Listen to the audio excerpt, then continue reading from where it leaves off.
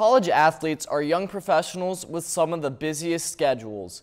These busy schedules can be extremely stressful at times, dealing with the stress of competing in a sport while being a successful student in the classroom. College athletes are extremely susceptible to a psychological phenomenon known as burnout. I spoke with clinical psychologist Dr. Brad Miller to find out more. We all get tired and stressed, and even tired of being stressed. Simply put, this is a psychological phenomenon called burnout.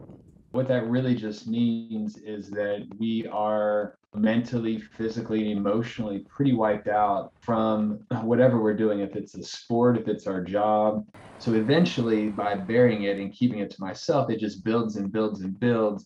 It's like a balloon, right? Eventually, it's going to pop.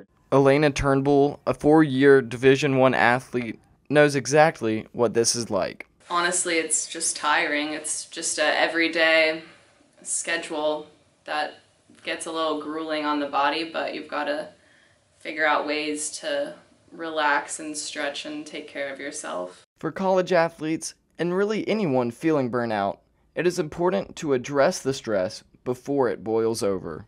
When you're having burnout, then that certainly spills over to life um, in the classroom, your social life, and the things that you kind of do. A lot of people who experience burnout with their sport, their jobs, especially when it's sort of something that they spend a lot of time doing, absolutely affects their physical health. It affects their emotional health, makes them more vulnerable to anxiety and depression. Having been in the same shoes of the players she's coaching now, Turnbull has a tailored approach towards supporting her student athletes. So, as a coach now, knowing what I knew and went through as a student athlete, I put a big importance on the mental aspect and giving positive feedback to my players. I really am a big believer in meditation and just being thankful for the small little things. Now I really emphasize just taking a step back and looking at how they've grown and the small improvements they have improved upon every day. For Turnbull, it is important to her that her team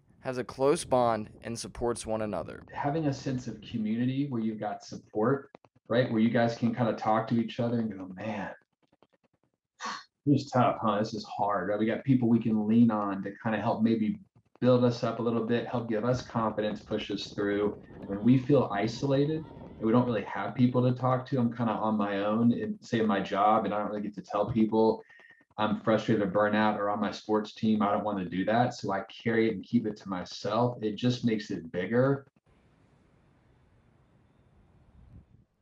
If you're feeling tired or burnout, it is important to remember to check in on yourself or even share your struggles with your peers.